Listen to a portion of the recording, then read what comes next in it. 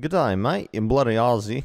Just kidding. But anyway, let's go ahead and get straight into Scary's business. We're going to check the latest Google Chrome version using PowerShell. And I have the most trimmed down, most beautiful version of this for you to alert you whether yes or no are you running stable Chrome. So if your browser for some reason is out of date, this right here would run and it, it, could trigger an alert like you could call a function which that function maybe trigger trips off an alarm to a security team or it um, you know just tells the user hey you need to update your chrome version now. Um, it, it, and you know who knows maybe maybe it just tries to update the chrome version um, or, or it or it instructs the person on how to do it.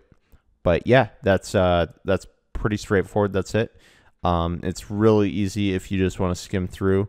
Uh, pretty much all that we're doing is we are uh, getting uh, the item property of, um, of, the Chrome EXE uh, version info, and then we are get, getting the uh, we're getting the uh, GC version, um, and all that we're doing then is getting getting that from the uh, the version info and the product version.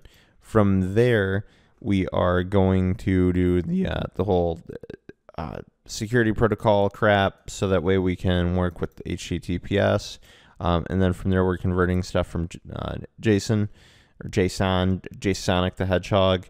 Then we're going to clear and um, so now we have J to work with, which is the result of you know like getting this all in from uh, from from Jason, JSON, like the hedgehog, whatever, and then we're gonna say if the uh, the J, so we're calling on this, which we you know parsed all the all the stuff, and then um, one, so we're selecting a certain piece or, or part of this, and then versions, and then we're selecting I think specifically maybe like the Windows piece or something like that.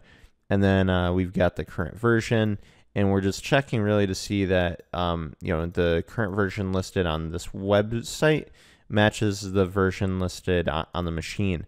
So then, if it does, we're basically saying you know if that's true, then we're going to echo Chrome is running a stable version, of course, if that's equal.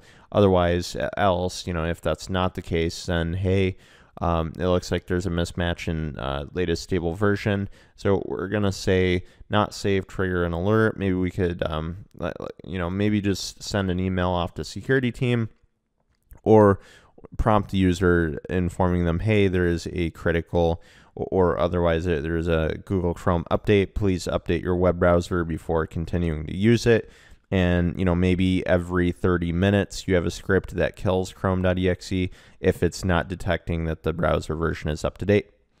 Uh, that's it. Thank you